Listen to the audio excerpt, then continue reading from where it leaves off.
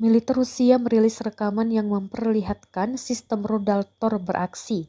Rusia mengklaim awak pertahanan udara Tor berhasil menghancurkan 15 UAV Ukraina di DPR atau Republik Rakyat Donetsk. Dalam keterangan unggahan disebutkan drone Ukraina Fury dan Valkyrie dihantam pada jarak hingga 12 km.